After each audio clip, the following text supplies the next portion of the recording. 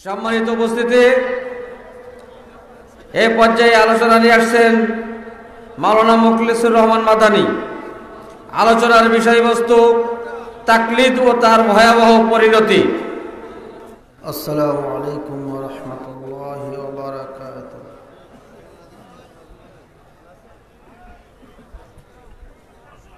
আলহামদুলিল্লাহ والعاقبة للمتقين والصلاة والسلام على نبينا محمد وعلى آله وصحبه وسلم. أما بعد فأعوذ بالله من الشيطان الرجيم. وإذا قيل لهم اتبعوا ما أنزل الله قالوا بل نتبع ما وجدنا عليه آباءنا. وقال النبي صلى الله عليه وسلم لا يؤمن أحدكم حتى يكون يكون هواه تبعا لما جئت به.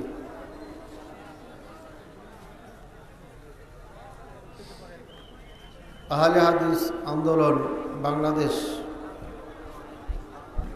কর্তৃপক্ষ আয়োজিত, কর্তৃক আয়োজিত উনত্রিশতম বার্ষিক তাবলিগ ইজতেমার সম্মানিত সভাপতি প্রফেসর ডক্টর মোহাম্মদ আসাদুল্লাহ গালেব হাফিজাহুল্লাহ আমির জামাত, আহলে হাদিস আন্দোলন বাংলাদেশ। এবং তবলিগ ইজতেমার সম্মানিত ওলামায় কেরাম ও আইদিনে কেরাম দেশের বিভিন্ন প্রান্ত থেকে গোটা বাংলাদেশের আনাচে কানাচের থেকে আগত দিন দরদি ইসলাম দরদি ভাই ও পর্দার আড়ালের মা ও আজকে আলোচ্য বিষয় সম্পর্কে আপনারা জানতে পেরেছেন। আলোচ্য বিষয় হচ্ছে তাকলিদ এবং তার ভয়াবহতা। আলোচনা আরম্ভ করার আগেই ধন্যবাদ জানাচ্ছি এই তাবলিগ ইজতেমার সকল শাখার কর্মীদের, দায়িত্বশীলদের এবং খাস করে রাজশাহী প্রশাসনকে এবং বাংলাদেশ সরকারকে, যারা সকলেই মিলে আজকের এই সুন্দর সমাবেশকে আরও সুন্দর করেছেন। এজন্য আল্লাহর কাছে সকলের জন্য দোয়া করি। আল্লাহ যেন সকলকে তার দিনের জন্য কবল করে নেন। আল্লাহ আমি সম্মানিত উপস্থিতি, আজকের যে আলোচ্য বিষয়, তাকলিদ। তাকলিদ শব্দটি আরবি শব্দ। এর মানে হচ্ছে অন্ধবিশ্বাস। এটা হচ্ছে ভাব অর্থ। এই তাকলিদটি, অন্ধবিশ্বাস, এটা হচ্ছে পৃথিবীতে মুসলিম জাতির অধপতনের একমাত্র কারণ। এই তাকলিদের জন্যই আজকে মুসলমান, মুসলিম বিশ্ব আপনার খণ্ড বিখণ্ড হয়েছে। এই তাকলিদের জন্যই গোটা মুসলিম সমাজটি ছিন্ন বিচ্ছিন্ন হয়েছে। এই তাকলিদের জন্যই আজকে মুসলমান মুসলমানে মারামারি কাটাকাটি হচ্ছে। এই তাকলিদ মানুষকে হিংস প্রাণীতে পরিণত করেছে। এই তাকলিদের জন্যই আল্লাহর ঘর মসজিদ পর্যন্ত পুড়িয়ে জ্বালিয়ে ছাড়খাড় করে দেওয়া হয়েছে। সব কিছুরই মূল হচ্ছে তাকলিদ। এই জন্য আজকের এই তাকলিদ বিষয়টি হচ্ছে অত্যন্ত গুরুত্বপূর্ণ এবং ইম্পর্টেন্ট এজন্য সবাইকে চোকান্নার হয়ে, সজাগ হয়ে শুনতে হবে। ঘুমানো যাবে না। যারা আশেপাশে ঘুমিয়ে আছেন, তাদেরকে আমরা উঠিয়ে ফেলি। কারণ এমনি মাহফিলগুলোই তো দুইটা আড়াইটা পর্যন্ত চলে। আর এটা হচ্ছে বৎসরের সে আকাঙ্ক্ষিত গোটা বাংলাদেশের ধারক বাহক আহলে হাদিসদের একমাত্র আশা, আকাঙ্ক্ষা বছরে একবার আমরা এখানে সমাবেত হয়ে আমাদের জ্ঞানের পিপাসাকে এখান থেকে নিবারণ করে আমরা বাড়ি ফিরে যাব ইনশাআল্লাহ। ভাইয়েরা আমার, এই তকলিদ শব্দটি এসেছে কেলাদার থেকে। কেলাদা বলা হয় নেকলেসকে হারকে এই হারটি গরু কুরবানির গরুতে পরিয়ে দেওয়া হতো।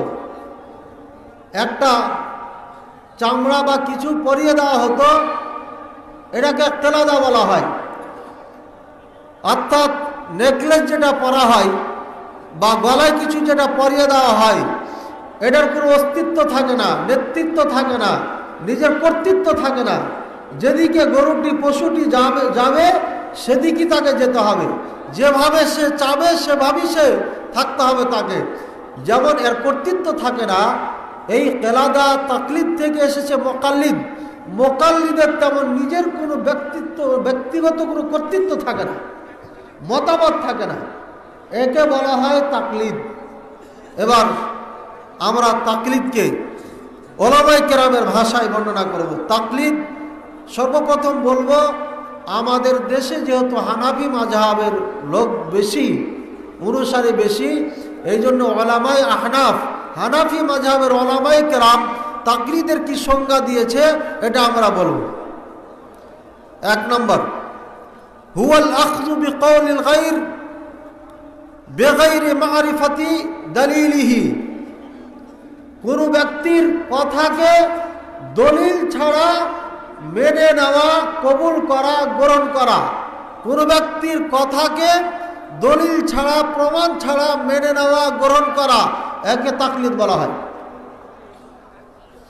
আচ্ছা আপনারা বলেন তো, কোনো ব্যক্তির কথাকে, কাজকে, দলিল, প্রমাণ ছাড়া মেনে নেওয়া, এটা কোনো জ্ঞানী মানুষের কথা?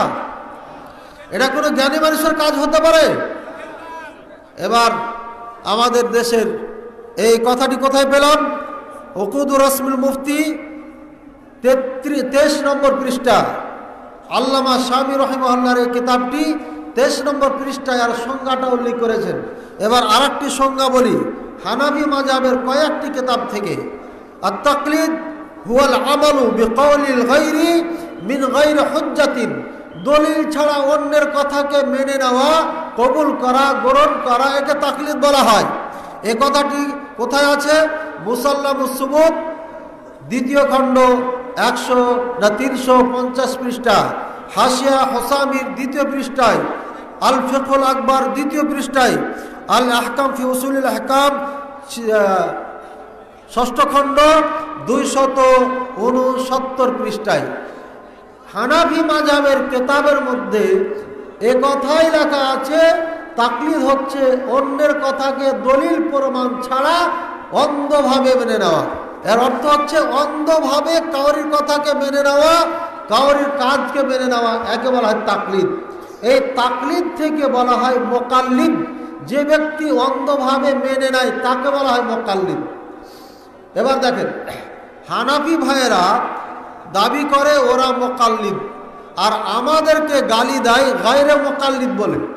এবার অর্থ দেখেন, মোকাল্লিদ মানে অন্ধবিশ্বাসী। অন্ধভাবে দলিল প্রমাণ ছাড়া যে মেনে নেয় আর গায়রে মোকাল্লিদ মানে যে অন্ধবিশ্বাসী না, দলিল প্রমাণ ছাড়া যে মানে না।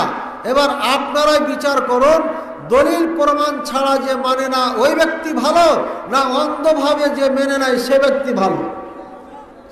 অন্ধভাবে যে ব্যক্তি মেনে নেয় সে ব্যক্তি জ্ঞানী, না দলিল প্রমাণের, সাক্ষ্য প্রমাণের সহকারে যে মেনে নেয় গ্রহণ করে সে ব্যক্তি জ্ঞানী। ভাই, জোরে করে বলবেন, যে ব্যক্তি দলিল প্রমাণ সহকারে মানে ওই ব্যক্তি হচ্ছে জ্ঞানী। আর যে আপনার অন্ধভাবে মেনে নাই, ও হচ্ছে আপনার জ্ঞানহীন ব্যক্তি, যার বিবেক বুদ্ধি আছে, অন্ধভাবে কখনো মেনে নিতে পারে না। ভাইরা আমার মোকাল্লিদ আর গায়ের মোকাল্লিদের মধ্যে এটাই পার্থক্য। মোকাল্লিদ বানানে লাভ কি? মোকাল্লিদ যদি বানিয়ে দিই, আমি যদি বলি ভাইরা আমার আমার কথা যদি শুনে নাও, তাহলে তুমি বেসতে চলে যাওয়া জান্নাতে চলে যাওয়া করতে হবে কি? আমাকে এক লক্ষ টাকা দিয়ে দাও, আমি দোয়া দিয়ে দিচ্ছি। অন্ধবিশ্বাসী ওই এক লক্ষই টাকা দিয়ে দিবে। এই জন্য এই বাংলাদেশে এত কুখ্যাত অলি নামে আপনার কুলাঙ্গার রয়েছে, যার কথা কর্ম সবই আল্লাহ গরহি আল্লাহ, বিপক্ষ কথা, কোরআন সন্ন্যার বিপক্ষে কথা। তারপরও এদেশের মানুষরা লক্ষ লক্ষ টাকা দিয়ে তার প্যাটটাকে এত বড় বানিয়েছে যে প্যাট নিয়ে সে চলতেও পারে না। এটা হচ্ছে অন্ধবিশ্বাসের ফলাফল, ভয়াবহতা। অন্ধ যারা, তারা কখনো চিন্তা করে না যে সে সত্য বলছে না মিথ্যা বলছে। এই জন্য আমাদের দেশের মানুষ বেশিরভাগই অন্ধবিশ্বাসী, তাই তারা অন্ধভাবে এক একজনের প্যাটকে এইভাবে মোটা করে দিয়েছে। ভাইরা আমার এই অন্ধবিশ্বাস, এটা হচ্ছে সব থেকে বড় ভাইরাস সব থেকে বড় রোগ। এটা যদি যে সমাজে থাকে, তাহলে পরে এই সমাজ কখনো সফলতা এবং কামিয়াবিতে পৌঁছতে পারবে না। আল্লাহ পাক রব্বুল আলমিন নিজেও বলেছেন যে দলিল প্রমাণ ছাড়া কোনো কথা মানা যাবে না। হাদিসে অগণিত রয়েছে, কোরআনে অগণিত দলিল রয়েছে। আমি কিছু উল্লেখ করব ইনশাল্লাহ এই তাকলিদ অন্ধভাবে বিশ্বাস করা যাবে না। এ কথা কোরআনে প্রত্যাখ্যান করেছে। এ কথা সন্না দ্বারা আপনার প্রমাণিত। এই তাকলিদকে পরিহার করেছে। আপনার সন্না দ্বারা অগণিত হাদিস রয়েছে। এই কথা তাকলিদ যে চলবে না, এ কথা ওলামাই কেরাম থেকে প্রমাণিত। তাকলিদ যে চলবে না ওলামাই আহনাদ থেকে প্রমাণিত। তাকলিদ যে চলবে না, এজমা দ্বারা প্রমাণিত। তাকলিদ যে চলবে না, আকল বুদ্ধি দিয়েও প্রমাণিত। আমি আজকে এই পাঁচটি দিয়ে প্রমাণ করব ইনশাআল্লাহ। আল্লাহ যদি তৌফিক দান করে ভাইয়ের আমার আল্লাহ পাক রব্বুল আলমিন বলেন, সোরা বাকারার একশো এগারো নম্বর আয়াত قل هاتوا برهانكم إن كنتم صادقين কাবররা অনেক কিছু দাবি করেছে আল্লাহ পাক রব্বুল আলামিন বলেন হ্যাঁ মোহাম্মদ সাল্লাম আপনি বলে দিন হাতু বুরহানাকুম তোমাদের দলিল প্রমাণ নাও যদি তোমরা সত্যবাদী হয়ে থাকো দেখেছেন আল্লাহ পাক রব্বুল আলামিন স্রষ্টা, সৃষ্টিকর্তা সৃষ্টির মাখলুককে, মানুষকে আল্লাহ বলছেন, দলিল নাও যদি তোমরা সত্যবাদী হও। আল্লাহ পাক রব্বুল আলমিনের দলিল চাওয়ার কোনো প্রয়োজন ছিল? কোনো প্রয়োজন ছিল না। তারপর আল্লাহ চ্যালেঞ্জ করছে, দলিল নাও যদি তোমরা সত্যবাদী হয়ে থাকো। ভাইরা আমার, এই বাংলাদেশে আমরা যে কোরআন সন্না অনুযায়ী চলবো, এই জন্য কি কোরআন সন্নাতে আছে কিনা, এই দলিল চাইতে হবে না? নাকি?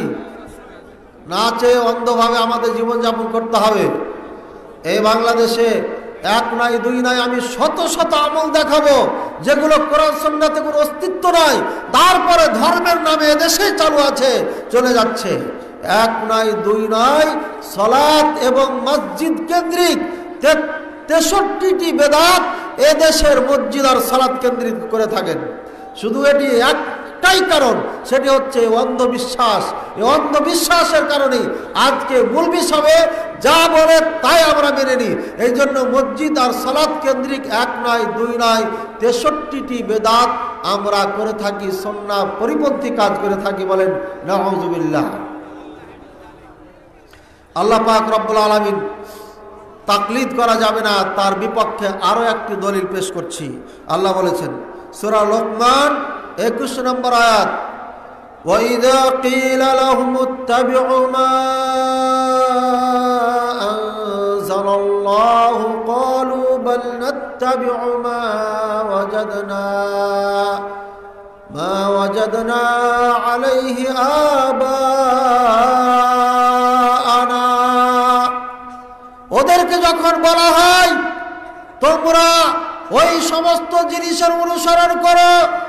যাহা আল্লাহ পাক রব্বুল আলামিন প্রেরণ করেছেন, অর্থাৎ আল্লাহ প্রদত্ত বিধান অনুযায়ী তোমরা জীবন যাপন করো, তখন তারা বলে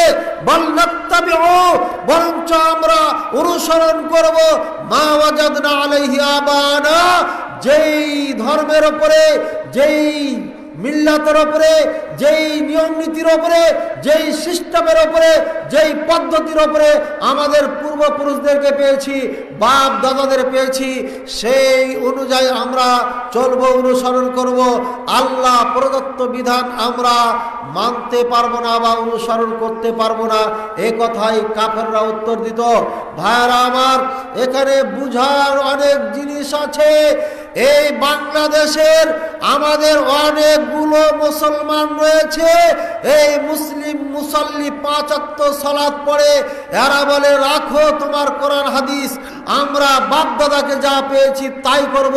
আমাদের আমাদের মুরব্বীরা যা বলেছেন তাই করব, আমাদের ইমাম যা বলেছেন তাই করব, এই বলে তারা রাখো করার হাদিস, আমাদের ইমামের বাইরে যাব না, এ কথা বলে যাই।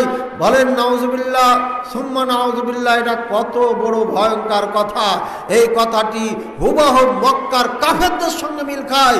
যেই কাফেররা বলেছিল, আমাদের পূর্বপুরুষদেরকে যেভাবে পেয়েছি, সেইভাবে আমরা জীবনযাপন করব। মোহাম্মদ, তোমার আল্লাহ প্রদত্ত বিধানের অনুসরণ করব না। ঠিক এদেশের মুসলমানেরা আজকে এই তাকলিদের কারণে, অন্ধবিশ্বাসের কারণে তারা আজকে কথা বলে, আমাদের হুজুররা যা করে আমরা তাই করব, আমরা তোমাদের কথা মানব না। অর্থাৎ কোরআন সন্না বুঝি না। ঠিক না বে ঠিক? বহু জায়গাতে কথা বলে, রাখো তোমার কোরআন হাদিস, নওয়াজুবিল্লাহ। আমরা যেভাবে আছি, এখানে এভাবে চলবো।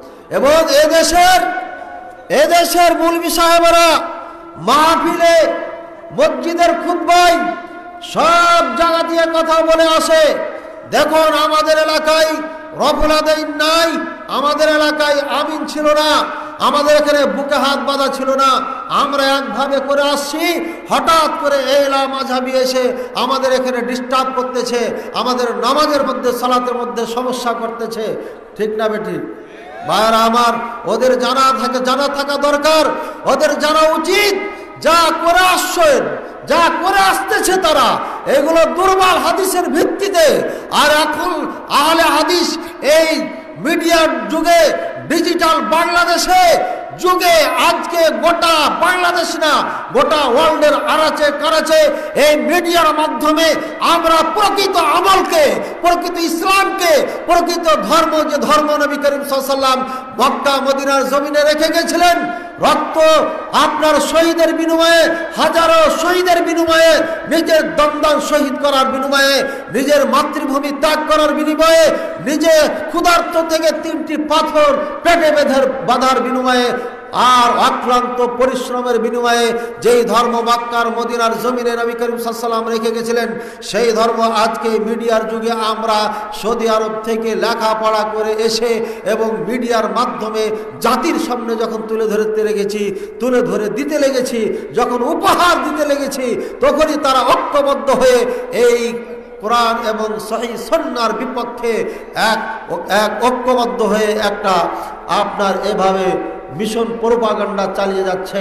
যখনই কোনো গ্রামে কোনো যুবক এই কোরআন সন্ন্যার ওপর আমল করতে যায়, তখন সর্বপ্রথম তাকে জঙ্গিবাদী অভিযোগ, অভিযোগে অভিযুক্ত করে জেলখানায় পাঠিয়ে দেয়। ঠিক না বেঠি? আল্লাহ পাক রব্বুল আলমিনের কাছে দোয়া করি এই গভীর রজনীতে, আল্লাহ এদেশের এই মুলবিগুলোকে হেদায়ত দান করুন। আল্লাহ দেশের এই ভোলা ভালা মুসলমানদেরকে বুঝার তফিদান করুন। এরা এই মুলবিদের ফাঁদে পা দিয়ে আজকে বিশুদ্ধ হাদিসকে নবী করিম রেখে যাওয়া আমলকে প্রত্যাখ্যান করতেছে। শুধুমাত্র একটি কারণ, অন্ধবিশ্বাসী। এই মুলবিদের অন্ধবিশ্বাস করতে করতে তারা নিজের ইমান আমলকে এইভাবে হারিয়ে ফেলেছে। আল্লাহ এই গভীর রজনীতে আমরা দোয়া করছি, আল্লাহ তাদেরকে হেদায়ত দান করুন, কোরআন সন্নাকে ফলো করার তফি দান করুন। অন্ধবিশ্বাসের বেড়াজাল থেকে ফিরে আসার তফি দান করুন আল্লাহ পাক রব্বুল আলমিন আরো বলেন ওয়াইদা কিল লাহুম তাআলাউ ইলা মা أنزل الله وإلى الرسول قالوا حسبنا ما وجدنا عليه آباءنا সূরা মাইদা 104 নম্বর আয়াত যখন তাদেরকে বলা হয় তোমরা আসো। ওই সমস্ত জিনিসের দিকে, ওই বিধানের দিকে, যে বিধান আল্লাহ নাজিল করেছেন, তোমরা আসো ওই বিধানের দিকে, যেই বিধান নবী করিম সাল্লাম নিয়ে এসেছেন, দিয়েছেন। যখন এ কথা বলা হয়, অর্থাৎ আল্লাহ আল্লাহ রসুলের আনুগত্য করার কথা যখন তাদেরকে বলা হয়, তখন তারা বলে, হাসবুনা, আমাদের জন্য আনাফ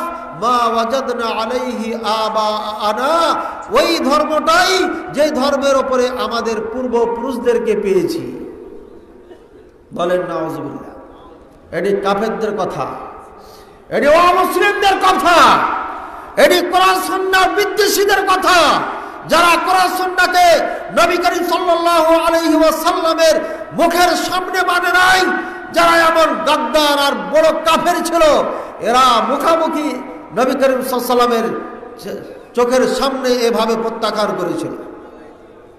আর ঠিক এই যুগে, এই সময় আজকে আমাদের বাংলাদেশের নামধারী মূর্তি সাহেবেরা এবং মুলবি সাহেবেরা আর কিছু অজ্ঞ মানুষ যারা বুঝে না, তারা এ কথাই বলছেন, আমরা কোরআন সন্না বুঝি না, এমনকি এ কথা বলে, আমরা বোখারি বুঝি না, আমরা মুসলিম বুঝি না নওয়াজবিল্লাহ যেই সহি বোখারি, যেই সহি মুসলিম, এ আসমানের নিচে, জমিনের ওপরে সব থেকে বিশুদ্ধ কেতাব আল কোরআনুল করিমের পরে এমন বিশুদ্ধ কেতাব, এখানে যে হাদিসগুলো উল্লেখ করা হয়েছে, এটার কি শর্ত জানেন? বাইশ বছর বোখারি পড়িয়ে দেশের অগণিত মহাদিসিনে গ্রাম জানে না বোখারি শর্ত কি? বোখারিতে ওই সমস্ত হাদিসগুলো উল্লেখ করা হয়েছে, সহি মুসলিমে ওই সমস্ত হাদিসগুলো উল্লেখ করা হয়েছে। ওই দুইশো আড়াইশো শতাব্দীর সকল মুসলিম জাতি যেই হাদিসের ওপরে ঐক্যবদ্ধ ছিল, যেই হাদিস নিয়ে কোনো দ্বিমত ছিল না, ওই সমস্ত হাদিসগুলোকে বোখারি আর মুসলিমে সংকলন করা হয়। এরই নাম শাহি বোখারি, এরই নাম শাহি মুসলিম। এদেশের মুলবি সাহেবেরা না বুঝার কারণে, না জানার কারণে বোখারির হাদিসকে প্রত্যাখ্যান করার জন্য অন্য কেতাব থেকে হাদিস নিয়ে এসে এটাকে বলে যে এদের থেকে ভালো। এই যে সেই হাদিস আমার কাছে আছে, সুতরাং বোখারের হাদিস মানা যাবে না, মুসলিমের হাদিস মানা যাবে না। এই আওয়াজ কি হচ্ছে? অন্ধবিশ্বাসী অন্ধবিশ্বাসীদের আওয়াজ, এটা কোনো শিক্ষিত মানুষের কথা না, এটা কোনো আলেমের দিনের কথা না। কোন আলেম কথা বলে গেছিল তাই তারা এই অন্ধবিশ্বাসের উপরে নির্ভর করে হাদিস করার লেখাপড়া না করে, ওই চটি বইয়ের উপরে নির্ভর করে বিশুদ্ধ হাদিসকে তারা আজকে অস্বীকার করে যাচ্ছে। ভাই, মুনকিরিরা হাদিস যুগে যুগে ছিল, সুকৌশলে এদেশের অনেকগুলো আলেম ওলামারা মুনকিরিনে হাদিসের কাতারে নাম লেখিয়ে বিশুদ্ধ হাদিসকে অস্বীকার করে যাচ্ছে। এই জন্য সাবধান, সতর্ক থাকতে হবে। আহলে হাদিস আন্দোলন এই বাংলাদেশের একটি সংগঠন, যেই সংগঠন কোরআন এবং বিশুদ্ধ হাদিসের কথা বলে, কোরআন এবং সন্না বিশুদ্ধ সন্ন্যার বাইরে কথা বলে না কোরআন এবং সন্না সাইহার ওপরে উঠানোর জন্য প্রতিটি মানুষের দ্বারে দ্বারে এই আহলে হাদিস আন্দোলন আপনার দাওয়াতের কাজ চালিয়ে যাচ্ছেন, দাওয়াতি কাজ করে যাচ্ছেন। এই দাওয়াতি কাজের কারণে বহু নেতা কর্মীকে অগণিত নির্যাতনের নিপীড়িত নির্যাতনের শিকার হতে হয়েছে, নিপীড়িত হতে হয়েছে। ভাইয়ারা আমার, এই জন্যই তো যারা পৃথিবীতে সব থেকে বেশি কাজ করেছিলেন তারাই তো আপনার জেল হাজতে গেছেন, তারাই তো নিপীড়িত হয়েছেন, তারাই তো নির্যাতিত হয়েছেন। তার জ্বলন্ত উদাহরণ হচ্ছে আম্বিয়াগণ, তার সূর্যের মতো আলোকিত উদাহরণ হচ্ছে নবীগণ। নবীগণ হচ্ছে পৃথিবীর মানব কুলের সব থেকে সেরা মানব। সমস্ত নবীগণই নির্যাতিত হয়েছেন। এমনকি আপনার দশ হাজার নবীকে হত্যা করা হয়েছে। এই শুধু সত্য দিন প্রচারের জন্য, আল্লাহ প্রদত্ত দিন প্রচারের জন্য। আর নবী করিম সাল্লা সাল্লামের দন্দান শহীদ হয়েছে। আর তার দুঃখের সীমা, আর তার দুঃখের কথা বলে শেষ করা যাবে না। পৃথিবীতে এমন কোনো নবী নাই যে নবীর কাহিনী এত লম্বা, যত লম্বা আমাদের নবী নবী মোহাম্মদ রসুল্লাহ সাল্লাহ আলি সাল্লামের একেবারে মার পেট থেকে বের হয়ে আসার পর থেকে খালি শুধু কষ্ট আর কষ্ট কষ্ট আর কষ্ট, দুঃখ আর দুঃখ দুঃখ আর দুঃখ। শুধুমাত্র উম্মাতে মোহাম্মদীকে বাঁচানোর জন্য, জান্নাতে নিয়ে যাওয়ার জন্য এই কষ্ট করেছেন। ভাইরা আমার এত কষ্ট করেছেন যে সে বলে ভাষায় প্রকাশ করা যাবে না। নবী করিম সাল্লামকে দুনিয়ার সুখ শান্তির জন্য বলেছিলেন বৎহায় মক্কাকে স্বর্ণে পরিণত করে দেব মোহাম্মদ যদি আপনি চান। কিন্তু মোহাম্মদ রসুল্লাহ সাল্লাম চান নাই যে শুধু চেয়েছেন একটি, যে আল্লাহ আমার উম্মাদ, আমার উম্মাদ জাহান নামের আলোচনা করছিলেন। আমাদের সর্দেবাজন ভাই জাহাঙ্গীর আলম ইসলাহি সাহেব, ওই জাহান নামের আগুনে যখন আপনাদের, আপনার সুল্লাম অর্থাৎ জিসিম অর্থাৎ পুলসেরাত যেটাকে বলি আমরা, এই পুলসেরাত হয়ে যখন পার হব আমরা, যেটি চুলের মতো চিকন, আর তলোয়ারের ধারের থেকেও খুবই সূক্ষ্ম ধারালু, এই ধারালু এই ব্রিজের ওপর দিয়ে যখন যেতে যাব আমরা, যখন উন্মতে মোহাম্মদী যখন এই ব্রিজে পুলের ওপরে পা দিবেন তখন নবী করিম সাল্লাম জান্নাতের গেট থেকে প্রতিটি উম্মাদকে দেখতে পাবেন। যখনই উম্মতে মোহাম্মদী পা রাখবেন, সাথে সাথে নবী সাল্লা সাল্লাম বলবে, সাল্লিম সাল্লিম ইয়ারব সাল্লিম ইয়ারব সাল্লিম, এ আমার আল্লাহ, এ আমার রব, একে বাঁচিয়ে দাও, একে বাঁচিয়ে দাও, একে বাঁচিয়ে দাও। এভাবে নবী করিম সাল্লাম সেই জান্নাতের গেট থেকে প্রতিটি উম্মতের জন্য দোয়া করতে থাকবেন বলেন সুবহান আল্লাহ এমন নবীর উম্মত যে নবী দুনিয়াতে নিজের জীবদ্দশায় কখনো আমাদের ভরে নাই। মরণের পরেও ভুলবেন না। কেয়ামতের ময়দান থেকে জান্নাতে যাওয়া পর্যন্ত আমাদেরকে স্মরণে রাখবেন। ভাইরা আমার, এমন একজন মানব কুলের সেরা মানব মোহাম্মদ রসুল্লাহ সাল্লাম সত্য কথা বলার কারণে নিজের বংশধরেরা, নিজের গ্রামবাসীরা, শহরবাসীরা তাকে সেখানে থাকতে দেয় নাই। হত্যা করার জন্য তারা সবাই সবাই ঐক্যমত হয়ে গিয়েছিল।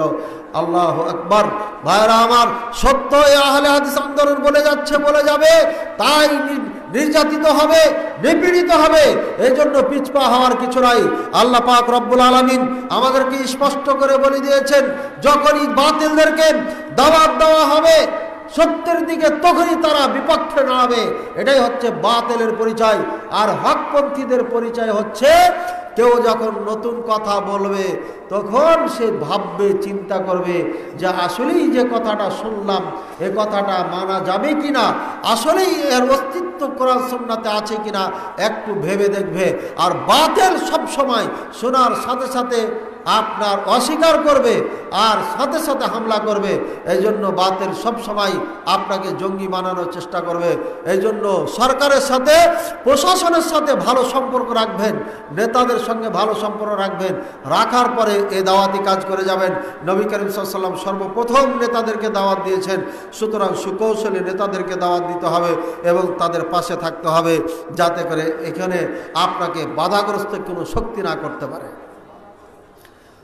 আল্লাহ পাক রব্বুল আলমিন এই অন্ধবিশ্বাসকে প্রত্যাখ্যান করেছেন আরো অন্য ভাষায় আল্লাহ পাক রব্বুল আলমিন সুরা ইসরার ছত্রিশ নম্বর আয়াতে বলেন ولا تقف ما ليس لك به علم إن السمع والبصر والفؤاد كل أولئك কুল্লুন উলাইকা কানা আনহু নবী করিম সাল্লা সাল্লামকে আল্লাহ বলছেন, দেখেন কত ভয়ঙ্কর বাণী। নবী মোহাম্মদুর রসুল্লাহ সাল্লাহ আলহি আসাল্লামকে আল্লাহ বলছেন ওলা তাকফু মা লাইসালা কাবিহি আলমুন মোহাম্মদ, যেই বিষয়ে তোমার ধারণা নাই। যে বিষয়ে তুমি জানো না, এগুলো বলিও না। যে বিষয়ে জানা নাই এ বিষয়ে মোহাম্মদ নিষেধ করা হচ্ছে। এদেশের লাখো মুফতি সাহেব আছেন, যারা না জেনে, না শুনে, না বুঝে বড় হুজুরকে বাঁচানোর জন্য আপনারা আমাদের সঙ্গে বিদ্যার আচরণ করে যাচ্ছেন।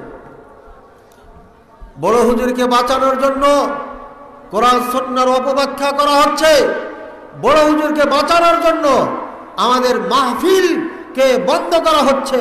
আমাদের স্টেজে যে মাইক কেড়ে নেওয়া হচ্ছে, স্টেজ দখল করা হচ্ছে, এদেশের কতিপয় নামধারী মৌলবী সাহেবরা।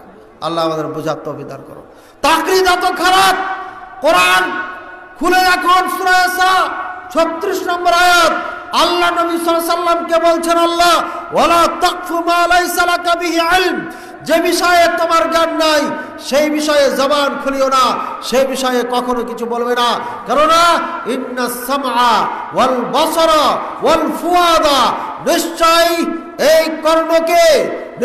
এই দৃষ্টিকে, নিশ্চয় এই অন্তরকে আপনার প্রত্যেককেই কল্লুন প্রত্যেককেই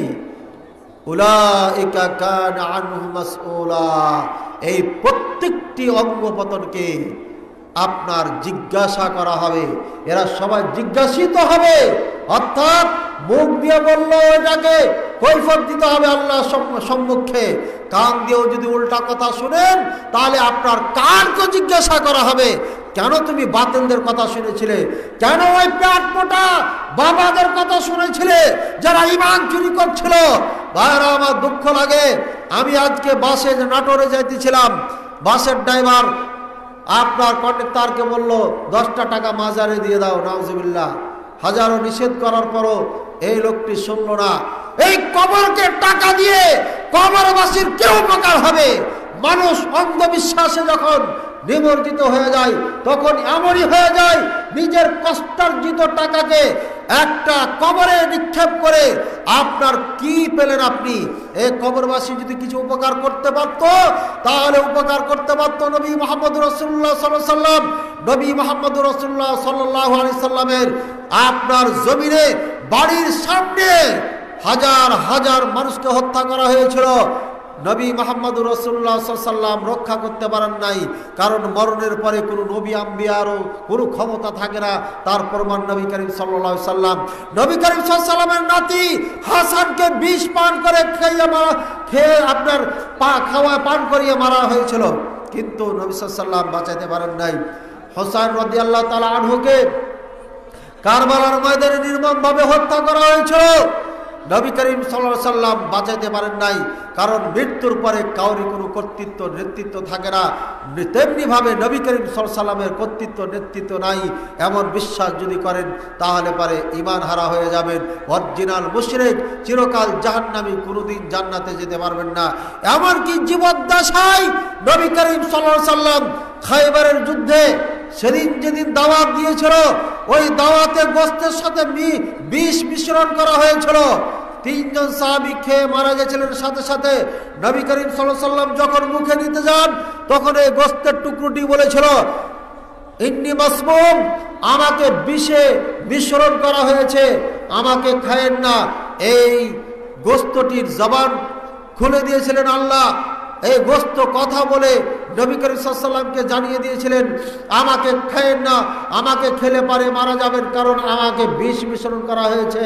ভাইয়ার, আমার নবী করিম মুখের সামনে নিয়ে আসছেন, ওই বিষের আপনার গ্রাম ভিতরে চলে যায় মহাদিসিন একরাম এ কথাই বলেছেন, নবী করিম সাল্লাম তেষট্টি বছর বছর বয়সে মারা গেছিলেন। তার একটি কারণ ছিল এই বিষে আক্রান্ত হওয়া। ভাইরা, আমার নবী মোহাম্মদ রসুল্লাহ সাল্লাহ আলি সাল্লাম মুখের সামনে গোস্তটি মুখে দিতে যাচ্ছেন, তাও জানেন না, এই গোস্তে বিষ মিশ্রণ করা আছে। নবী করিম সাল্লাম কীভাবে আপনার দুঃখ কষ্ট দূর করতে পারবেন?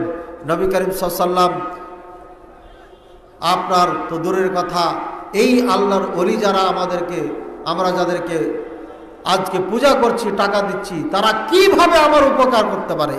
যদি তারা উপকার করতে পারত, তাহলে পারে। যেখানে এই বাংলাদেশে গোটা ওয়ার্ল্ডে মুসলমান, গোটা ওয়ার্ল্ডে মুসলমান আজকে নির্মমভাবে হত্যা করা হচ্ছে, তাহলে এই অলিরা ওই দেশে বসেও কেন রক্ষা করতে পারে না? মায়ানমারের মুসলমানকে নির্মমভাবে হত্যা করা হলো। এদেশের এক কোটি অষ্টআশি লক্ষ বাবা আছে। এই বাবারা কোথায় গেল? এক কোটি অষ্টআশি লক্ষ বাবা যদি তালোয়ার নিয়ে মায়ানমারে দৌড় দিত, শুধু দৌড় দিত, তাহলে মায়ানমার স্বাধীন হয়ে যেত।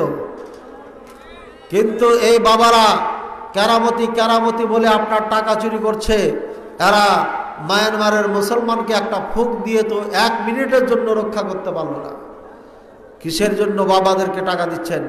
আবার জিন্দা বাবা তো কিছুই পারে না পারে না। মরা বাবাকেও টাকা দিচ্ছেন। যে মরা বাবা কিচ্ছুই জানে না। দুঃখজনক হলো সত্য, এটার কুফল, এটার কারণ হচ্ছে তাকলিদ, এটার কারণ হচ্ছে অন্ধবিশ্বাস। অন্ধবিশ্বাস। ভাইয়ের, আমার তাকলিদে সাক্ষী বিষয়ের মধ্যে একটা লাগবে, এক ব্যক্তি পূজারী। ব্যক্তি পূজারী, ব্যক্তির অন্ধবিশ্বাস হয়ে যাওয়া, এটা হচ্ছে ধ্বংসের মূল। এই ধ্বংস থেকে বাঁচার কোনো উপায় নাই। একটি উপায়, সেটি হচ্ছে কোরআন সন্ন্যার দিকে ফিরে আসা। আল্লাহ পাক রব্বুল আলমিন আরও বলেন, সুরা নাহালের তেত্রিশ, তেতাল্লিশ নম্বর আয়াত, ফাসআলু লা তা'লামুন। আল্লাহ পাক রব্বুল আলামিন বলছে, ফাসআলু আহলা যিকরি। ওই আলেম আমাদেরকে গাড়িদেরকে প্রশ্ন করো। ইন কুনতুম লা যদি তোমরা না জানো, অর্থাৎ তোমরা যে বিষয়ে জানো না, ওই আলেম আমাদের থেকে জেনে নাও। বোঝা যাচ্ছে কি? অনুবাদ করছি আপনাদের ভাষায়। অর্থাৎ তোমরা জিজ্ঞাসা করো ওই সমস্ত বিষয়ে, যে সমস্ত বিষয়ে তোমরা জানো না হে মানব জাতি শুনো, মুসলমান হও, হিন্দু হও, কাফের বৌদ্ধ যে হও না কেন, শুনো, জানো, প্রশ্ন করো, জিজ্ঞাসা করো, যারা জানে তাদেরকে আহলা জিকির অর্থাৎ এলেমওয়ালাদেরকে, কোরআনওয়ালাদেরকে সন্ন্যাওয়ালাদেরকে অর্থাৎ আলেমকে জিজ্ঞাসা করো, আলেমকে জিজ্ঞাসা করো, এর মানে হচ্ছে কি, অন্ধবিশ্বাস করা যাবে না। তুমি যদি না জানো, যারা জানে, তার থেকে জেনে নাও। বলবেন, হুজুর, এটা তো তাকলিদের দলিল। এটা তো আমাদের দেশের মুক্তিরা এটাই দলিল দিয়ে থাকে। এই আয়াতটাই তাকলিদকে জবাই করেছে। এই আয়াতটাই প্রমাণ করছে, তাকলিদ চলবে না। কারণ যদি তাকলিদ চলতো, তাহলে প্রশ্নর কোনো প্রশ্ন আসতো না। প্রশ্ন করার কোনো প্রয়োজনই ছিল না। তাহলে হুজুর যা করে, দেখে দেখে তা করব। হুজুর যা বলে তাই করব। জিজ্ঞাসা করার কোনো দরকার ছিল না।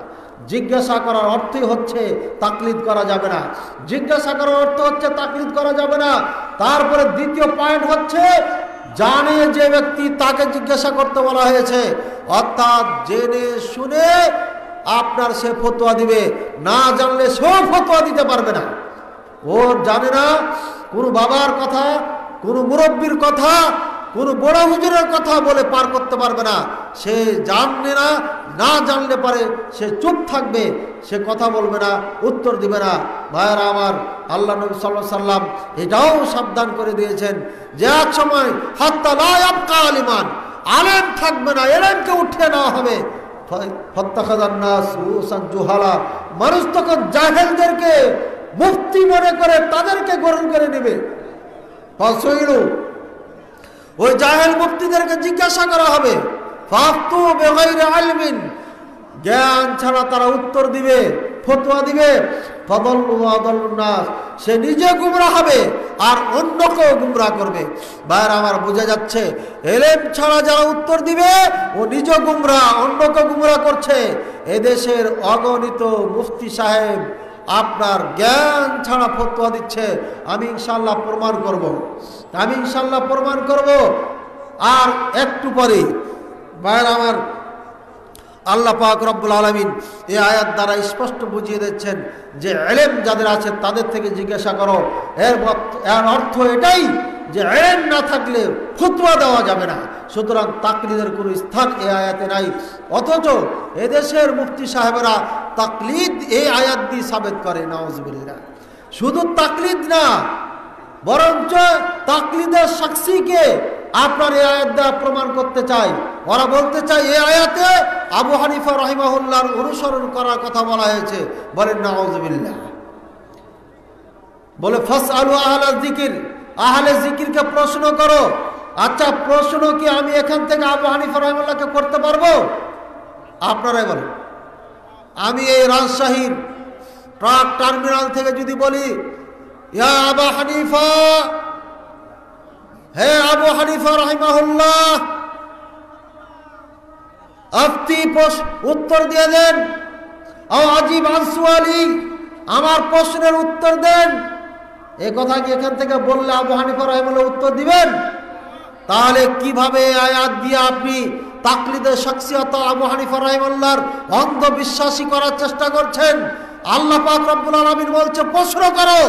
আর আপনি বলছেন ওই মানুষটি, যে মানুষটি বহু বছর আগে দেড়শো শতাব্দীতে মারা গেছেন, আজ থেকে এক নয়, দুই নয়, তেরোশো বছর মোটামুটি আগে মারা গেছেন।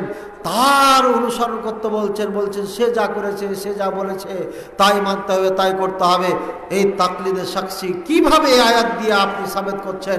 অথচ এখানে প্রশ্ন করার কথা বলা হয়েছে। আবু হানিফা রহমাল্লাহকে কীভাবে আমি প্রশ্ন করতে পারি? যিনি মারা গেছেন। ভাইরা আমার, এটি হচ্ছে তাকলিদ, অন্ধবিশ্বাসের আপনার কুফল।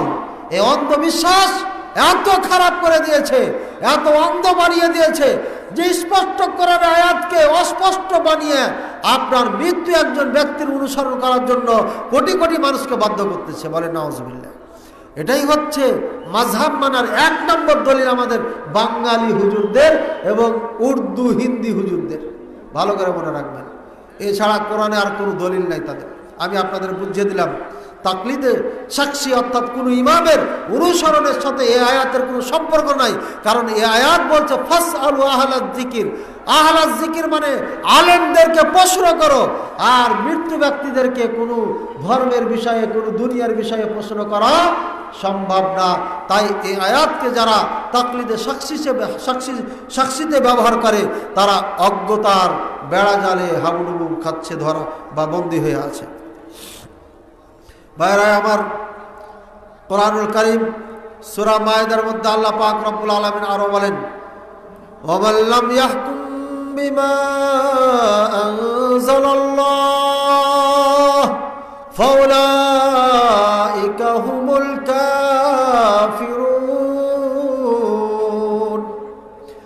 ওই ব্যক্তি, যে ব্যক্তি আল্লাহ প্রদত্ত বিধান দিয়ে আপনার জীবন সমাজ, পরিবার, রাষ্ট্র ইত্যাদি পরিচালনা করে না। প্রত্যেকটি ক্ষেত্রেই যারা আল্লাহর বিধান অনুযায়ী পরিচালনা করে না, তারা কাফের। এই আয়াত পড়ার পরে একদল জঙ্গিবাদ যারা আছে, সন্ত্রাসবাদ, তারা শুধু জজদেরকে টার্গেট করে। বলে জজেরা তো করেছেন ভিত্তিক বিচার করে না। সুতরাং এই জজই হচ্ছে এর মেসদাক। কিন্তু বুঝার দরকার আছে, এই আয়াত শুধু জজদের জন্য বলা হয় নাই। আমার নিজের বডির মধ্যে, আমার নিজের আত্মা, আমার এই বডিটার মধ্যে আমি হাকিম, এই বডিটার হাকিম আমি এই বডির মধ্যে আমি হুকুম দিচ্ছি, আমি যে দাড়ি কেটে নিচ্ছি, আমি যে মিথ্যা কথা বলছি, আমি যে চুরি করছি, আমি যে জেরা করছি, আমি মদ খাই, সুদ খাই, ঘুষ নিই, এই সব কাজগুলো আমি যে করতেছি, আমি তো নিজেই কোরআন সন্নাকে আমার মধ্যে বাস্তবায়ন করে নাই, আমি তো কোরআন ভিত্তিক আমার নিজের ওপর হুকুম বাস্তবায়ন করি নাই জঙ্গিবাদী, তুমি জঙ্গলে থাকো, তোমার পিতা সালাদ পড়ে না, তোমার মা হয়তো সালাদ পড়ে না, তোমার ভাই বোন অনেকেই আত্মীয় স্বজন সালাদ পড়ে না, তুমি তাদের ওপর হুকুম বাস্তবায়ন করতে পারো না, তুমি নিজেই ভয় যখন পাও তখন দাড়ি কেটে নাও, আর যখন সুযোগ পাও তখন দাড়ি ছেড়ে মোল্লা সাজো, তুমি নিজেই ধর্ম পালন করতে পারো না, তুমি আবার জজকে এ আয়াতের মেস্তাক বানিয়ে হত্যা করো কেন? এ আয়াত কি বলছেন? যারা কোরআন সন্না ভিত্তিক আপনার কি করবে না? হুকুম দিবে না। অর্থাৎ পরিচালনা নিজকে করবে না, পরিবারকে করবে না, সমাজ, এরপরে রাষ্ট্র আসবে, পরে আগে নিজ থেকে শুরু করতে হবে। ভাইয়েরা আমার, সেই ব্যক্তি কাফের বলা হয়েছে। তাহলে পারে, আপনি যদি কোরআন সন্নাকে পাওয়া সত্ত্বেও বলেন, এটা আমার দলের কোরআন সন্না না। এটা আমার দলে নাই, এটা আমার ইমাম বলে নাই এটা আমার হুজুররা বলে না, এটা আমার মুরব্বীদের কথা না, আমাদের মুরব্বীদের সঙ্গে মিল খায় না। তাহলে পারে এই আয়াতের মেজদাক প্রথম নম্বর আপনি, কারণ কোরআন সন্না জানার পরও আপনি এই আয়াতকে অস্বীকার করতেছেন, মানতেছেন না সুকৌশলে। সুতরাং কাফের যদি হয়, তাহলে আপনি আগে কাফের হবেন, কারণ এই আয়াতের বিরোধিতা আপনি করছেন। আমি কাফের ফতোয়া দিচ্ছি না। মনে রাখবেন, আবার যদি কেউ না বলে কাফের ফতোয়া দিয়েছেন আমি বুঝাইতে চাচ্ছি কোরআন সন্না না মানলে পারে ভয়াবহতা কি? অন্ধবিশ্বাসীদের জন্য ভয়াবহতা কি? এটা বুঝাইতে চাচ্ছি যে আল্লাহর বিধান অনুযায়ী যদি আপনি হুকুম না জারি করেন আপনার বডি, আপনার পরিবারের মধ্যে, ইত্যাদির মধ্যে, তাহলে আপনি কাফের হয়ে যাবেন। এখানে ব্যাখ্যা আছে, সুতরাং তাকলিদের আলোচনায় এই ব্যাখ্যা এখানে আনা যাবে না। আমি এখানে শর্টে এখানে বলে গেলাম। ভাইয়ার আমার আল্লাহ পাক রব্বুল আলমিন আরও স্পষ্ট করে বলেন কোনো মুরব্বীর কোনো মৌলবি সাহেবের কোনো বাবার কোনো ইমামের তাকলিদ অন্ধবিশ্বাসী হওয়া যাবে না তারপর মানে আল্লাহ পাক রব্বুল আলমিন আরো বলেন ইত্তাবিউ মা উনজিলা ইলাইকুম মির রাব্বিকুম ولا تتبعوا من دونه ولا تتبعوا من دونه أولياء قليلا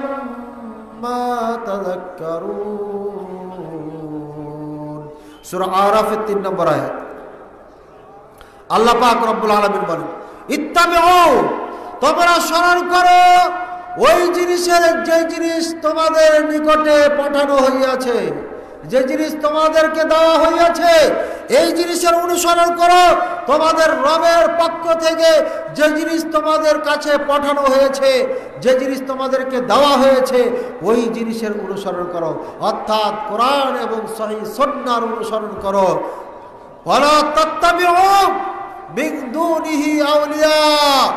আরে আল্লাহর প্রদত্ত বিধান আল্লাহকে বাদ দিয়ে কোনো আউলিয়া, কোনো দরবেশ, কোনো বাবা, কোনো ইমাম, কোনো ব্যক্তির তোমরা অনুসরণ করো না। স্পষ্ট কোরআনে বলে দিচ্ছে, আল্লাহ প্রদত্ত বিধান একে বাদ দিয়ে কোনো ব্যক্তি, কোনো অলি কোনো আউলিয়া, কোনো দরবেশ, কোনো ইমাম, কোনো মোস্তাহিদের অনুসরণ করো না। কলিলাম্মা তাজাক্কারুন এই স্মরণকারীর দল খুব কম। ভাইরা আমার কোরআন এত স্পষ্ট করে বলছে, অন্ধবিশ্বাসী হওয়া যাবে না, কাউকে অন্ধভাবে মেনে নেওয়া যাবে না, অনুসরণ শুধু কোরআন সন্ন্যার করতে হবে। তারপরও এদেশের মাটিতে লক্ষ লক্ষ মৌলবি সাহেব বলে যাচ্ছেন আমার ইমাম, আমার বাবা যা বলেছেন, আমার উমুক যা বলেছেন, তার বাইরে যাওয়া যাবে না। এই সমাজে গণ্ডগোল করা যাবে না। এই সমাজের মধ্যে আমরা যে সিস্টেমে চলছে সিস্টেমের বাইরে যাওয়া যাবে না। এই সমাজের মধ্যে কত সিস্টেম ছিল, এখন নাই। এই সমাজের মধ্যে টিনের বাড়িতে থাকতে এখন নাই। খড় বেড়া দিয়ে বাড়ি করে থাকতো, এখন নয় এই সমাজে ধুতি পড়তে এখন নয় এই সমাজের মধ্যে আপনার ছিঁড়া ফাটা লুঙ্গি পড়তে এখন নয় এই সমাজে বড় বড় ছেলেগুলো হাফ প্যান্ট পরে বেড়াতে অভাবে এখন নাই। এই সমাজের ডাকের পোশাক পরতে এখন নাই। এই সমাজে না খেয়ে থাকতো এখন নাই।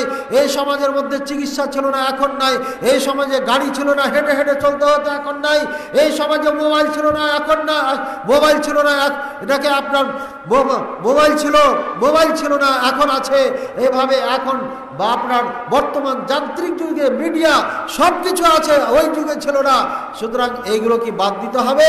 এই মিডিয়া ব্যবহার করা যাবে না যে বাপ দাদার যুগে ছিল না তাই আমরা করব না। ভাইয়েরা আমার, এটি হচ্ছে অজ্ঞতা আর মূর্খতা। বাপ দাদার কথা বলা, এটা হচ্ছে কাফেরদের বৈশিষ্ট্য। বাপ দাদাদের উদাহরণ দেওয়া বাপ দাদাদের আপনার উদাহরণ দিয়ে চালিয়ে দেওয়া। বাপ দাদাদের আপনার দিকে চালিয়ে দেওয়া, এটা হচ্ছে কাফেরদের বৈশিষ্ট্য, এটা কোনো মুসলমানদের, মুসলিমদের বৈশিষ্ট্য হতে পারে না। বাপ দাদা যদি সত্যিকারী কোরআন সন্না ভিত্তিক কিছু করে থাকে, বাপ দাদা যদি কোরআন সন্না ভিত্তিক কিছু বলে থাকে, শুধুমাত্র ওটাই বলা যাবে, এছাড়া কিছুই বলা যাবে না, সামনে যাই তাহলে আমরা আরও বুঝতে পারব। আল্লাহ পাক রব্বুল আলমিন আরও বলেন অমন অবল্লু মিম্মান ইত্তাবা হাওয়া হুদাম মিনাল্লাহ। সূরা কসাসের 5 নম্বর ওই ব্যক্তি থেকে গুমরা কে হতে পারে? যে ব্যক্তি তার প্রবৃত্তির অনুসরণ করে।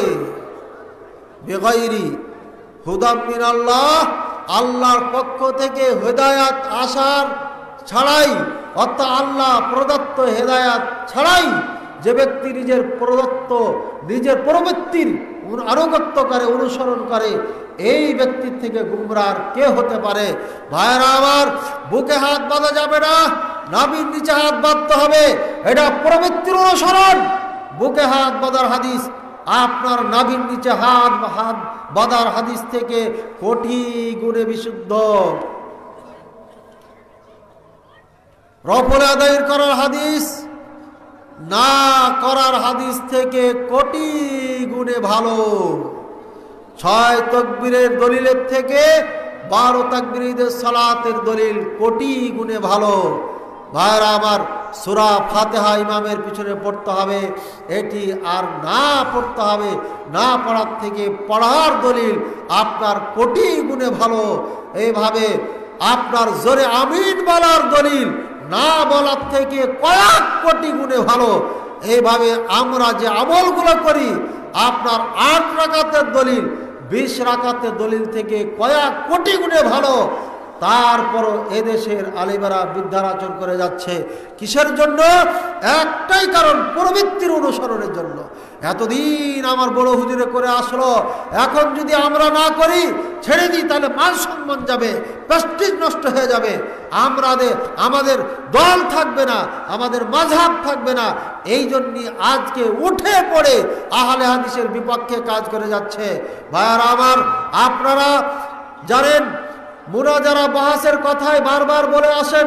অনেক বক্তা বলেন, কিসের মুনাজারা বাহাস? মুনাজারা বাহাস দরকার নাই। আমি বলি, দরকার আছে। এদেশের মাটিতে বহাস মোনাজারার জন্য একজন বহাস মোনাজারা পাগলা। এ পাগলা সবসময় পাগলামি করে চ্যালেঞ্জ করত।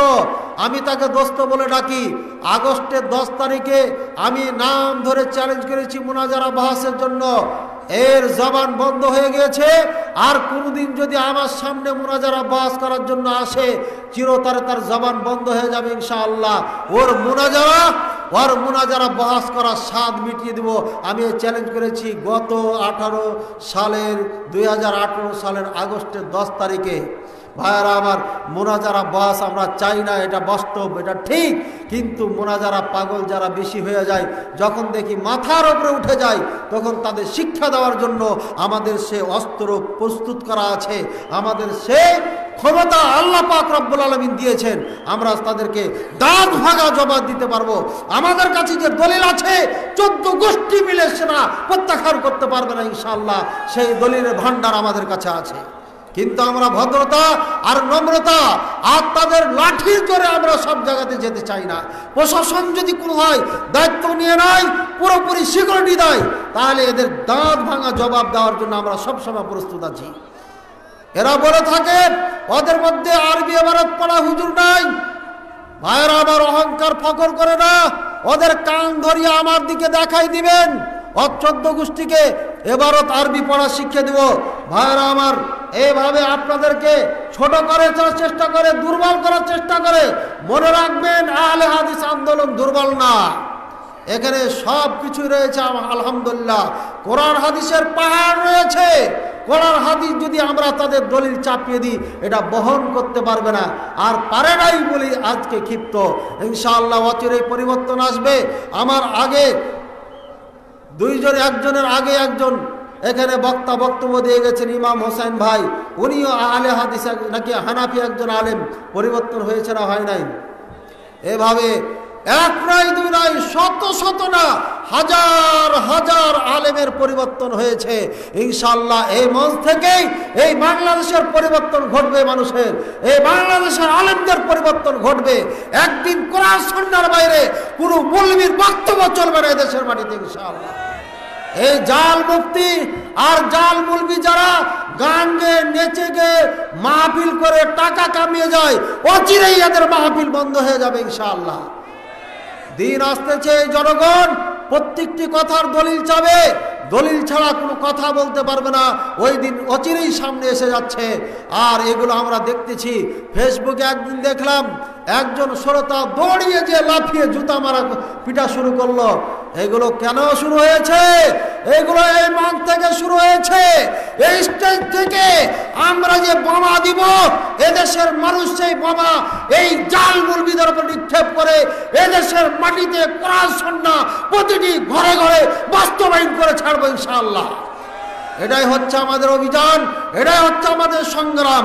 অন্ধবিশ্বাসের দিন শেষ ইনশাআল্লাহ অচিরেই কোরআন সন্ন্যার অনুসারী এদেশের মানুষ হবে ইনশাআল্লাহ হবে আল্লাহ পাক রব্বুল আলমিন আমাদের তফি দান করুন বার আমার আল্লাহ পাক রব্বুল আলমিন এই অন্ধবিশ্বাস করা যাবে না তারপর মানে স্পষ্ট কোরআনে করিমের মধ্যে আল্লাহ বলে দিয়েছেন ইত্তাখাযু আহবারাহুম اتخذوا أحبارهم ورهبانهم أربابا من আল্লাহ পাক রব্বুল আলামিন বলেন, ইত্তাখাযু আহবারহুম ওয়া রুহবানহুম। ওই ইহুদি খ্রিস্টানেরা তাদের মুলবিদেরকে মাবুদ হিসাবে গ্রহণ করিয়া নিয়াছিল। আদি বিন হাতিম রদিয়াল্লাহ তালা আনহু ওখানে বসেছিলেন, আহালি কিতাবের একজন। বলেন, ইয়া রসল্লাহ সাল্লাহ আলী ওসাল্লাম আমি তো ইয়াহুদি খ্রিস্টানদের সমাজের একজন মানুষ। আয়াতের সাথে বাস্তবতার মিল পাচ্ছি না। আয়াতের সাথে আমাদের সমাজের মিল হচ্ছে না। আল্লাহ নবী সাল্লাহ আলী সাল্লাম বললেন, আদি, তুমি জানো না, ওরা যখন কোনো হালালকে হারাম বলে ফতোয়া দিত, তখন ওই ইয়াহুদি খ্রিস্টানের মানুষেরা জাতিরা ইয়াহুদি খ্রিস্টানেরা, ওরা কি ওই মুলবিদের ফতোয়াটা নিত না? বলছে হ্যাঁ নিত। ওরা যখন কোনো হারামকে হালাল বলতো, তখন নিত না বলে নিত। কোনো সময় যখন হালালকে হারাম বলতো, তখন নিত কি নিত না? বলছে হ্যাঁ নিত। বলছে, এটাই হচ্ছে মাবুদ হিসাবে গ্রহণ করা। কারণ আইন দাতা হচ্ছে আল্লাহ পাক রব্বুল আলমিন। আল্লাহ রব্বুল আলমিনের আইনকে নিয়ে যদি কেউ আইন তৈরি করে, হালালকে হালাল না মনে করে হারাম বানিয়ে দেয়, অথবা হারামকে হালাল বানিয়ে দেয়, এর মানে হচ্ছে সে আল্লাহর স্থান আল্লাহর স্থান দাবি করছে। আল্লাহ যেমন আইন প্রদাতা, আল্লাহ যেমন আইন প্রণয়ন কারী তেমনিভাবে এই মৌলবী সব আইন প্রণয়নকারী আইনদাতা। সুতরাং তাই আল্লাহ পাক রব্বুল আলমিন বুঝিয়ে দিয়েছেন যে আহদি খ্রিস্টানরা তাদের আলেমদেরকে মাবুদ হিসাবে গ্রহণ করেছিল। এই জন্য যে আলেমরা যা বলতো তাই মানত, অন্ধভাবে মানত। এই তাকলিদের ভয়াবহতার কথা আল্লাহ কোরআনে বলেছেন, যারা অন্ধভাবে কোনো আলেমকে অনুসরণ করবে, এরা মুশরিক হয়ে যাবে ওই মুশরিক হয়ে যাবে। এই বিশ্বাস, যে বিশ্বাস এই আহলে কিতাবরা করত আবার স্পষ্ট করে বলছি, হালালের ক্ষেত্রে যদি কোনো মৌলবি হারাম বলে দেয়, অথবা কোনো হারামকে যদি হালাল ফতোয়া দেয়, আর যদি কেউ এটাকে অন্ধভাবে মেনে নেয়, ওই ব্যক্তি অরিজিনাল মুশরিক চিরকাল জাহান্নামী, কোনোদিন জান্নাতে যেতে পারবে না। ভাইরা আমার, বলবেন, হুজুর, আমাদের বাংলাদেশে আর ইন্ডিয়া, পাকিস্তানে এগুলো নাই। বাংলাদেশ, ইন্ডিয়া, পাকিস্তানে এটা আছে। এই অন্ধবিশ্বাসের জন্য হারামকে হালাল ফতোয়া দিয়েছেন। আর এ বাংলা, ভারত, পাকিস্তানের মানুষ তা গ্রহণ করে নিয়েছেন। এদেশের মূলবি সাহেবরা তামাক, জর্দা, গুলকে হালাল ফতোয়া দিয়েছেন দেয় নাই। কি বলেন? আপনারা কি ঘুমাচ্ছেন নাকি? নাকি জর্দা খাওয়াইতে হবে আপনাদের? তাই তো মনে হচ্ছে। হ্যাঁ? ভাইয়ারা আমার, এই একদিন পরে ঘুমাবেন। আমরা প্রতিদিনই এভাবে বক্তব্য দিয়ে যাচ্ছি। রাতের পর রাত কেটে যাচ্ছে আর আপনারা এই একদিন দুদিনের জন্য এসে এভাবে ঘুমাবেন। আল্লাহ কি খুশি হয়ে যাবেন নাকি? জর্দা, তামাক আর গুলের ওয়াজ চলছে আর আপনি এখানে ঘুমাচ্ছেন। এটা হতে পারে না। জেগে উঠুন। পাশের ভাইকে জেগে জাগায় দেন। ভাইয়ারা আমার একটা মুলবি নিয়ে যেতে হয় বিশ, তিরিশ হাজার টাকা দিয়ে আর আজকে ফিরি ফিরি বক্তব্য পাচ্ছেন। তারপরেও আপনারা যদি ঘুমান, তাহলে পরে দুর্ভাগ্য ছাড়া আর কি হতে পারে। ভাইরা, এদেশের মুলবি সাহেবেরা জর্দা গুল তামাককে হালাল বলেছে না বলে নাই? এদেশের জনগণ হালাল ভাবে খায় না খায় না। তাহলে ইহুদি খ্রিস্টানদের সঙ্গে মিল খাচ্ছে না খাই না ইহুদি খ্রিস্টানের মুলবিরা যেমন হালালকে হারাম বলেছিল, হারামকে হালাল বলেছিল, তাই তারা গ্রহণ করে নিয়েছিল। এ দেশের মুলবিরা জর্দা, তামাক, গুলের মতো হারামকে হালাল ফতোয়া দিয়ে নিজ খাই এদেশের মুসাল্লিদেরকে খাওয়ায়, ঠিক না বেঠি? চিন্তা করেছেন নবী মোহাম্মদ রসুল্লাহ সাল্লা সাল্লাম শেষ নিঃশ্বাস যখন ত্যাগ করছেন ঠিক ওই সময় মেসোয়াক নিয়েছেন। মেসোয়াক নিয়ে মুখটাকে পরিষ্কার করতেছেন। এদেশের অগণিত অগণিত প্রমাণ রয়েছে। জর্দা মুখে নিয়ে, গুল তামাক মুখে নিয়ে মারা গেছে। ঠিক না বে ঠিক অনেক হুজুরও জর্দা পান খেতে খেতে মারা গেছে। নওয়াজবিল্লা সুম্মা নওয়াজবিল্লা আল্লাহ রক্ষা করুন এই বাংলাদেশের মানুষকে। হারাগাছ থেকে কুষ্টিয়া, মেহেরপুরের মানুষকে বলছি কুষ্টিয়া মেহেরপুরের মানুষ, বড় নিয়ামত আল্লাহ আপনাদেরকে দিয়েছেন। পদ্মার পানি, মিঠা পানি আপনাদের অলিগলিতে এইভাবে সুন্দর নালা বানিয়ে দিয়েছেন আল্লাহ। আর এই মিঠা পানি দিয়ে আপনারা মিঠা শাকসবজি তৈরি না করে তামাকের মতো হারাম বস্তু তৈরি করছেন। সেখানে আপনারা আবাদ করছেন। এই জন্য আল্লাহর গজব আর আজাব আপনাদের উপরে অদীব বার্য আসবে, এতে কোনো সন্দেহ নাই। এজন্য আপনারা দয়া করে এই সব চাষ থেকে দূরে থাকুন। ভাইয়ারা আমার, আল্লাহ পাক রব্বুল আলমিন আমাদেরকে এইভাবে বহুবার নিষেধ করেছেন। হাদিস দিয়ে প্রমাণ দিচ্ছি। আল্লাহ নবী সাল্লাল্লাহু বলেন, যে যা আমি নিয়ে এসেছি, যতক্ষণ পর্যন্ত তার মন, তার মনোবৃত্তি, এটা যতক্ষণ পর্যন্ত আমার নিয়ে আসা বিধান অনুযায়ী না হবে এই অনুযায়ী যদি না হয়, ওই ব্যক্তি মমিন না। ভাইরা আমার নবী মোহাম্মদ রসুল্লাহ সাল্লাহ আলি সাল্লাম যা নিয়ে এসেছেন, দিয়েছেন, আমাদের ওটাই বিধান। ওই অনুযায়ী আমাদেরকে গঠন গঠন করতে হবে, সেই অনুযায়ী আমাদেরকে চলতে হবে। যদি আমরা না চলি, তাহলে পারে আমরাও একেবারে সেইভাবে গুমরা হয়ে যাব। আমাদেরকে বেইমান হয়ে কবরে যেতে হবে। সুতরাং প্রত্যেকটি ক্ষেত্রে একটি কথা মনে রাখবেন কোরআন হাদিস থেকে যদি কেউ কখনো কিছু বলে, ওটা সাথে সাথে বিদ্যারাচন করবেন না। আগে যাচাই করে দেখতে হবে। যদি সত্যি এটি বিশুদ্ধ হাদিস দ্বারা প্রমাণিত হয়, তাহলে মেনে নিতে হবে। আমল যদি করতে না পারেন, তাহলে পারে। কমপক্ষে বিরোধিতা করতে পারবেন না। আমল করতে পারবেন না। এজন্য আল্লাহর কাছে ক্ষমা চাবেন। কিন্তু বিরোধিতা করলে পারে, কপাল পোড়া গেছে। খবরদার এগুলো করব না। ভাইয়ার আমার এই তাকলিফ সম্পর্কে আর একটি কথা বলে শেষ করব, কারণ আমার সময় শেষ। শুধু কোরআন এবং সন্না দিয়ে তাকলিদ বিরোধী এ কথা বলতে পারলাম, বাকি আর বলতে পারলাম না। তাকলিদের যদি কোনো গুমরা বাবা থেকে থাকে, গুমরার কোনো বাবা যদি থাকে, ইনকান আলী দলালাতি আবুন, ফত্তাকলিদু আবুহা। গুমরাহির যদি পিতা থাকে, তাহলে গুমরাহির পিতা হচ্ছে তাকলিদ, অন্ধ অনুসরণ। এই অন্ধ অনুসরণ আপনার করা ইসলামে কখনো এটা বৈধতা নাই। এ কথা আল্লামা আলুসি হানাফি মাজামের প্রখ্যাত একজন আলেমেদিন বলেছেন যে গুমরাহির পিতা, বাবা যদি থাকে, তাহলে তাকলিদ, অন্ধবিশ্বাসী, অন্ধবিশ্বাস, এটা হচ্ছে তার বাবা। অন্ধবিশ্বাসী সব কিছু শেষ করে দেয়। ভাইয়ের, আমার অন্ধবিশ্বাসের কারণে এ দেশের মাটিতে একটা জঘন্যতম পাপ হয়ে এসেছে, এখনও হচ্ছে। সেটা হচ্ছে, কেউ যদি তালাক দিয়ে দেয়, তিন তালাক দিয়ে দিলে ওকে হিলা করিয়ে হালাল করে, ঠিক না বেটি এটা হচ্ছে তাকলিদের কুফল। এটা কোরআন সুন্না পরিপন্থী। তিন তালাক দেওয়ার পরে সলা পরামর্শ করে বিবাহ দিয়ে তিন দিন, এক মাস, দুই মাসের, তিন মাসের জন্য বিবাহ দিয়ে হালাল করা, এটা সম্পূর্ণ বেবিচার এবং জেরার পাপ। যারা এটা করবে, তারাও সে পাপে জড়িত হবে। যে করবে এ পাপে জড়িত হবে। এই বাংলাদেশের মাটিতে অগণিত এমন হিলা বিবাহ হয়েছে, শুধু তাকলিদের কারণে। ভাইয়ার, আমার এই তাকলিদ থেকে অবশ্যই আমাদেরকে বেঁচে থাকতে হবে। এই তাকলিদ থেকে আমাদেরকে দূরে সরে থাকতে হবে। এই তাকলিদের কুফলের মধ্যে অগণিত কুফল রয়েছে। এইগুলো বলতে গেলে পারে, আপনার, আমি বুঝতে পারছি আরও দুই ঘণ্টা কমপক্ষে লাগবে, আমি নোটটা যা করেছি। কিন্তু এই এত সময় আমাদের এই স্টেজে নাই, তারপর এক ঘণ্টা পার হয়ে গেছে, আর আমার এখানে আসার চিঠিও এসে গেছে চলে যাওয়ার, ভাইয়ারা আমার, তাকলিদ হচ্ছে অন্ধবিশ্বাস, এখানে আমাদেরকে গালি দেওয়া হয়, গায়রে মোকাল্লিদ মানে অন্ধবিশ্বাসী না, এটা আমাদের জন্য ভালো গালি, আমরা অন্ধবিশ্বাসী না, আমাদেরকে লা মাঝাবি বলে গালি দেওয়া হয় মানে এদের মাঝাব নাই হ্যাঁ চার মাঝাবের কোনোটা আমাদের নাই, আমাদের মাঝাব কি?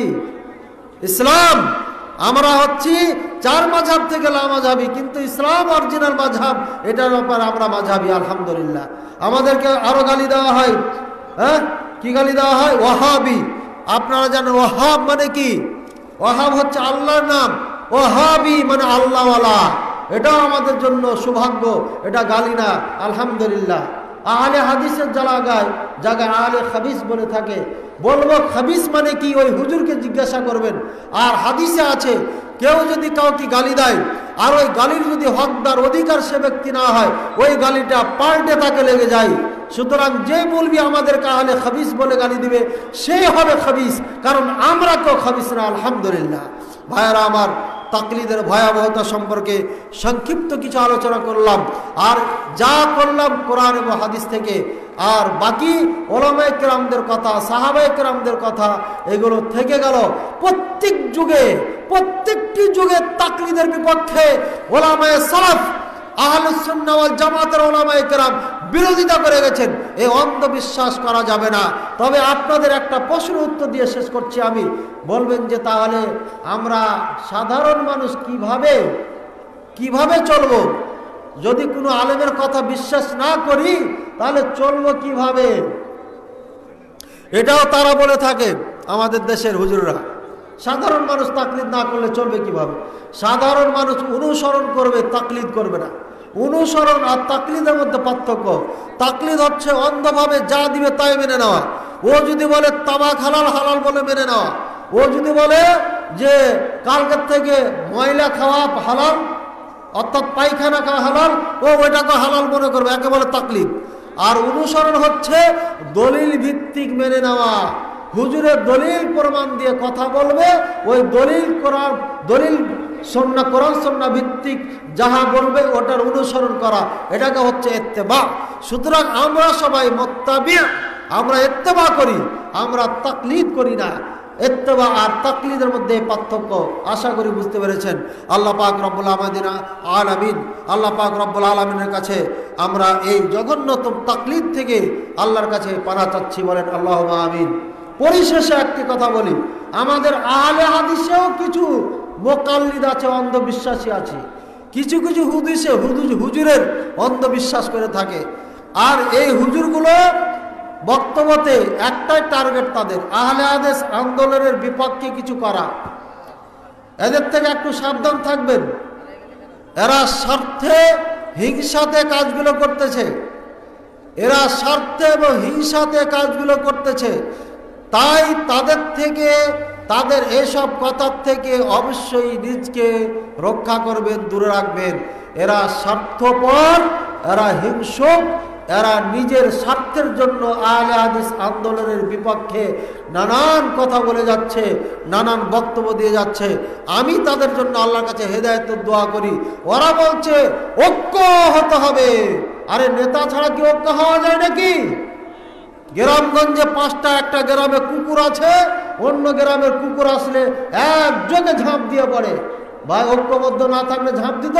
ওখানে নেতা আছে, যখনই নিষেধ করে নেতা হয়ে আর ওকে হামলা করতে হবে না, সবাই লেজ নিচে করে চলে আসে। এর মানে কি? এই কুকুরের মধ্যেও নেতা আছে, আর এই আশরাফুল মাকলুকাত এই শ্রেষ্ঠ মানব জাতির নেতা থাকবে না। কি বলেন আপনারা? এই সভা পরিচালনা হচ্ছে কি নেতাবিহীন নাকি? এখানে আমাদের প্রশাসনের ভাইয়ারা আছেন। ইনাদের মাঝে একজন নেতা আছেন না? নেতা যখন বলে, আসো, নাস্তা করে নাও, সবাই নাস্তা করতে চলে যান। নেতা যখন বলে, এ, বসে যাও, বসে যান। নেতা যদি বলে, দাঁড়িয়ে যান, দাঁড়িয়ে যায় এভাবে নেতা আছে না নাই? ভাইয়ারা, প্রত্যেকটি ক্ষেত্রে নেতা লাগে। আর এত বিশাল একটা দল বাংলাদেশে আপনারা আমরা বসবাস করি। ষোলো কোটি মানুষ, তার মধ্যে পনেরো কোটি, না হলে কমপক্ষে তেরো কোটি মেনে নিই মুসলমান, মুসলিম বসবাস করি। এই তেরো কোটি মুসলিমের নেতা লাগবে না? অবশ্যই নেতা লাগবে। নেতা ছাড়া ঐক্যবদ্ধ হওয়া যাবে না। সুতরাং যোগ্য নেতার নেতৃত্বেই ঐক্যবদ্ধ হয়ে এদেশে ইসলামের কাজ করে যেতে হবে। আল্লাহ পাক রব্বুল আলমিন আমাদের সকলকে তফিদান করুন। আল্লাহ পাক রব্বুল আলমিন আমাদেরকে কোরআন সন্না ভিত্তিক জীবনযাপন করার তফিদান করুন। আমিন আলহামদুলিল্লাহ রবিল আলমিন ও সাল্লাহ মোহাম্মদ ওয়ালা আলিহি ও সাহবিহি ওসাল্লাম আসসালামু আলাইকুম ওরহমতুল্লাহি ওবরকাত